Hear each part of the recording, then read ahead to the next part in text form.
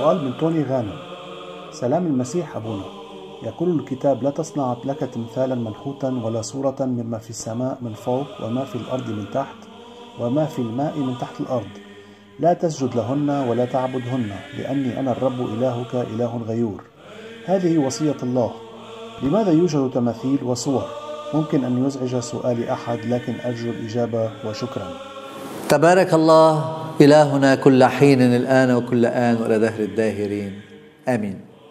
أشكر السائل وهذا السؤال لا يزعجني إطلاقا وهو مألوف على مسمعي منذ صباي والكتاب المقدس ملآن بالآيات هذه التي تشير عن ضرب المنحوتات.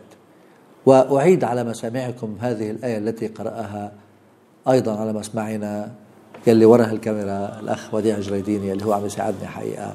لنشر كلمة الله بهذه الطريقة.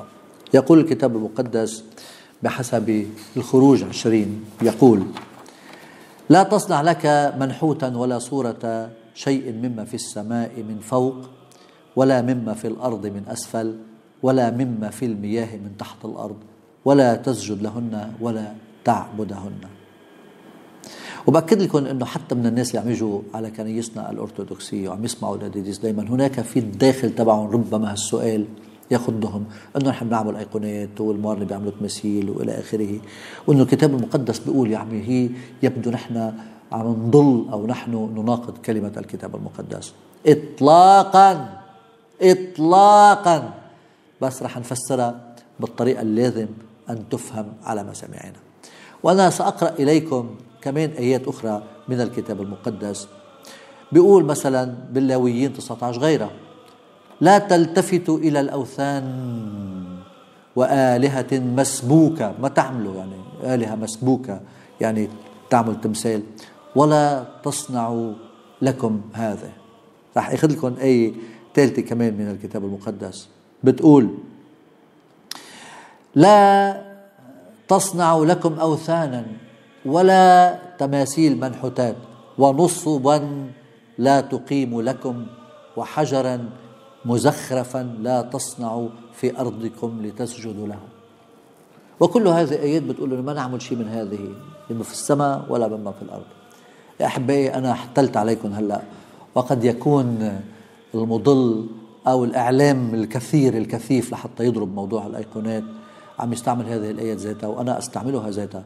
ولكن يا أحبائي هذه شقفة من الآية ولا مرة قريت لكم الآية كاملة. صدقوني أنه الآيات إنما تقول مثل ما هلأ رح أقريها واسمعوني منيح. لا تصنعوا لكم منحوتا ولا صورة مما في السماء من فوق ولا بالأرض من تحت ولا تسجدوا لهن من الماء والماء تحت الماء والى آخره. ولا تعبدوهن ولكن هذه شقفة من الآية لأن الآية بتكمل لأني أنا الرب إلهك إله غيور. بالآية الثانية اللي قريت لكم إياها. لا تلتفتوا إلى الأوثان ولا إلهة مسبوكة ولا تصنعوا لكم. أنا الرب إلهكم. لا تصنعوا لكم أوثانا ولا منحوتات ولا آخره لأني أنا الرب إلهكم. هذه الآيات بكمالها. إذا يبدو أنه الثقل الأساسي بهذه الآيات هو للجزء الثاني من الآية وليس الجزء الأول من الآية. لأنه من الطبيعي أن تعرفوا أن الشعب اليهودي كان يعيش بمحيط وثني ومهدد من أمم كثيرة وكانت تنتقل بالعدوى.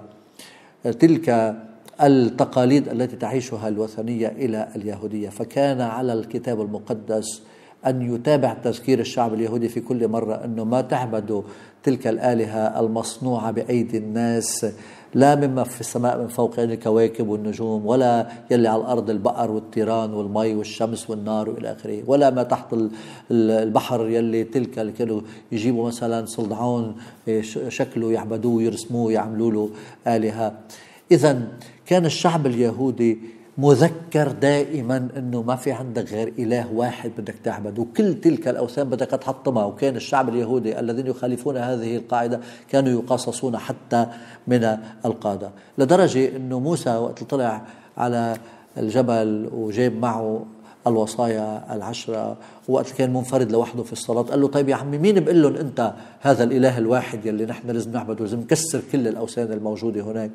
قال له بتقول لألون أنا هو الذي أنا هو أو أنا الكائن الذي أنا الكائن أو أكون أنا من أكون. هذه ترجمة لكلمة باللغة العبرية وأنا درست العبرية الحقيقة في الكتاب المقدس بالعهد القديم وقت كنت بالبرلمان. نسيتها هلأ ولكن بتذكر كثير منيح هذه الآية اللي هي بتقول إيه إشار إيه يلي. هذه إيه مأخوذة من فعل هيا هيا العبري. وكلمة هيا باللغة العبرية يعني هي verb to be بالإنجليزي I am who I am. Je suis يلي je suis. بدي يقولوا إذا اجى قال له مين كن قال له بتقول لهم أنا الكائن. ما أعطى اسم تحديدا إنما أعطى. هذه الصيغة بشكل اسم لكي يكون هو أنا الذي هو وحدي ما في إله آخر غيري. فمشان هيك كان التشديد فاذا في العهد القديم على ضرب كل الأوثان والوثنيين لكي يعبد الإله الواحد. وقبل أن أصل إلى العهد الجديد وإلى التفسير الكنسي لهذا الموضوع بدي أذكركم أيضا وأيضا بالعهد القديم أنه صحيح كان العهد القديم عم يحطم أوثان الأمم ولكن العهد القديم ذاته ما لغى ابدا أدوات العبادة. وإذا بدي أروح أكثر فيني لاقي لكم عدة أدوات عبادة. كان الكتاب المقدس يملي على الشعب اليهودي صنعه رح أعطيكم مثل. مثلا الوصايا العشرة. على شو نقشت؟ نقشت على حجارة. وحط هذا موسى لهذه الوصايا العشرة وصار الناس يسجدوا قدام الشريعة الجديدة. راح نروح لمكان أكثر. أكيد بتتذكروا أنتم أنه بالعهد القديم كان في شيء اسمه تابوت العهد. وكثير منيح لازم تتذكروا بتابوت العهد أنه هذا تابوت العهد مصنوع من خشب. وكان الشعب اليهودي يحملوا لتابوت العهد في كل محل وكان ينتصر بتابوت العهد اللي كان فيه لوحاء الوصايا وكان فيه عصا هارون التي أفرخت. عصا هارون كانوا يسجدوا لها. بتتذكروا كثير منيح أنه موسى ذاته أمر بأنه يعمل حية نحاسية والناس تجي تطلع على هذه الحية اللي هي من نحاس اللي هي مصنوعة من أيدي البشر. ولم تكن محطمة ولا ملغية. راح أروح معكم أكثر من هيك. إذا بتشوفوا مثلا هيكل سليمان لك في نصوص طويلة عريضه بالكتاب المقدس عم توصف كيف بدها تكون الزخرفة تبع الباب والزخرفة تبع المذبح والزخرفة تبع الكيروبيم وتبع الشيروبيم وإلى آخره. وأمرهم إنه يعملوا مش بس بالعهد القديم إنه يعملوا المذبح أمرهم إنه يعملوا تماثيل تماثيل. أمرهم يعملوا تماثيل للملائكة توضع على هذا تابوت العهد. وبدي أروح أكثر من هيك. قال لهم إنه يعملوا صور ومرسومات لعشر أبقار ويعملوها. أيضا نحاسية هذا بالملوك ثلاثة ثلاثة ملوك. وتماثيل أسود وتماثيل أخرى ومنقوشات أخرى. فإذا الموضوع هو مش الموضوع المنقوشات الموضوع هو العبادة لمن تكون. إذا أنت عم تعبد هذه الأوثان وقتها بتكون أنت وثني. ولكن كل ما هو من أدوات للعبادة تساعدك في عبادة الإله الواحد الذي أنا إلهك ولا آخر سواي. أنتم تغيروني بأمة أخرى تغيروني أنتم بالمعبودات أنا أغيركم بأمة أخرى. إذا بدي لكم أنه التركيز إذا على الإله الحي. مشان هيك الأصنام كانت مرفوضة. ولكن تلك التي قال عنها الكتاب المقدس العهد القديم والرموز التي استعملت بقيت موجودة. إذا الأصنام هي مضروبة ولكن الرموز موجودة. واللي قلت لكم إيه من منحوتات قال الكتاب المقدس كان يستعملها الشعب اليهودي وما كان عنده أي مشكل. مشان هيك بدي لكم كتبت كلمة لحتى أقريها مثل ما هي.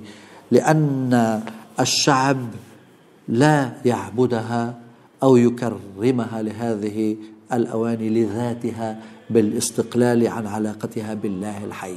إذا الأدوات الكنسية التي تستعمل وتلك الرموز بالاستقلال على الله بتصير لازم تضرب.